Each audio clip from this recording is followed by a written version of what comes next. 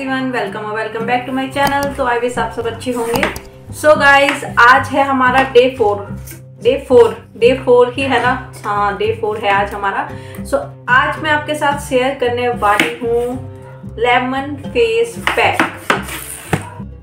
क्या guys so आज मैं आपके साथ लेमन फेस पैक शेयर करूँगी, जो हमारी स्किन को ब्राइटनिंग लाइटनिंग एंड निखार दे के आएगा, चमक लेके आएगा, चेहरा देख रहे ना आप कितना चमक रहा है। थोड़ा सा तो रिंग लाइट का सर है बट रियल में थोड़ा सा तो क्लीन हुआ ही है। एक्चुअली थोड़ा नहीं, बहुत। पहले से तो बहुत ज़्यादा डिफरेंस लग रहा है।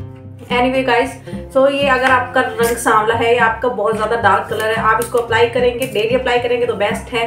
वैसे फेस पैक आप डेली यूज़ कर सकते हैं, बहुत अच्छा रिज़ल्ट मिलता है। अब मैं है ना, कि सीरीज़ बना रही हूँ तो हर दूसरे, तीसरे दिन ताकि जो मेरा पहला फेस पैक का जो ग्लो है, वो डल पड़ जाता है ना, तब मैं नेक्स्ट फेस पैक अप्लाई करती हूँ, ताकि आपको उसका कंप्लीट इफ़ेक्ट दिखाई दे सके कि वो स्किन टोन को किस तरीके से चेंज करते हैं फेस पैक सभी फेस पैक का एक ही काम होता है skin glow glowing skin skin में निखार लेके आना रंगत को निखारना। अगर आपको अपनी स्किन की प्रॉब्लम पता होंगी आपको पता होगा कि हमारी स्किन की क्या प्रॉब्लम्स है हमें किस चीज़ में इंप्रूवमेंट चाहिए तो उसके अकॉर्डिंग आप फेस पैक अप्लाई करेंगे तो आपको बेस्ट रिज़ल्ट मिलेगा। तो सब में मैं बताती हूँ कि इस फेस पैक का क्या बेनिफिट है।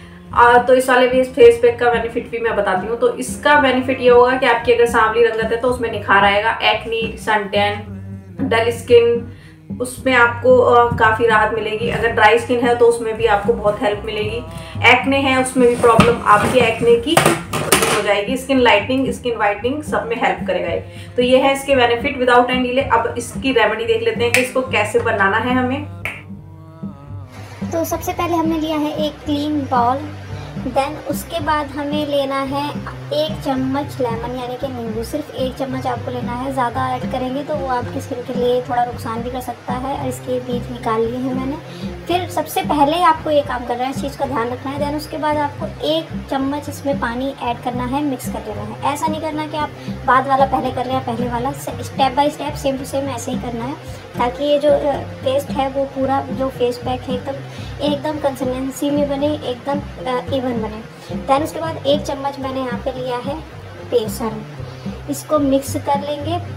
पानी और नींबू को पहले मिक्स कर लिया था ताकि वो इक्वल हो जाए और उसका असर भी आपको इक्वल मिले। एक चम्मच यहाँ पर हनी लिया है, यानी कि शहद।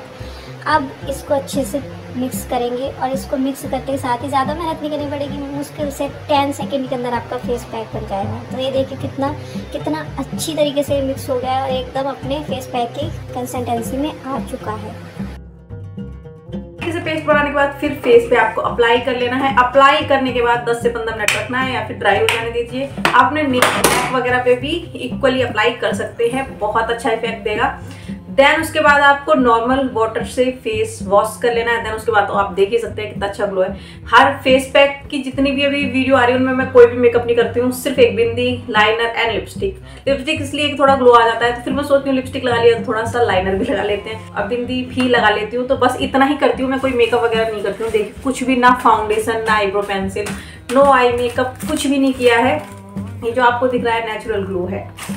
सो so गाइस बहुत बहुत अमेजिंग फेस पैक है। ज़रूर ट्राई कीजिए। अच्छा लगे तो कमेंट में मेंशन कीजिए ताकि और लोग भी ट्राई कर सके, उनको भी पता चल सके। एंड बहुत इफ़ेक्टिव है अफोर्डेबल है, आपके किचन में ही अवेलेबल है। आपको ज़्यादा मेहनत नहीं करनी पड़ती है और आपको एकदम इंस्टेंट ग्लो मिल जाता है पार्लर की तरह। और आपके लिए बेस्ट भी रहता है। आपको कोई इसमें साइड इफ़ेक्ट वगैरह की भी टेंशन नहीं रहती है। तो बस इतना ही कहना चाहूँगी। बाकी तो आप खुद ही समझदार हैं।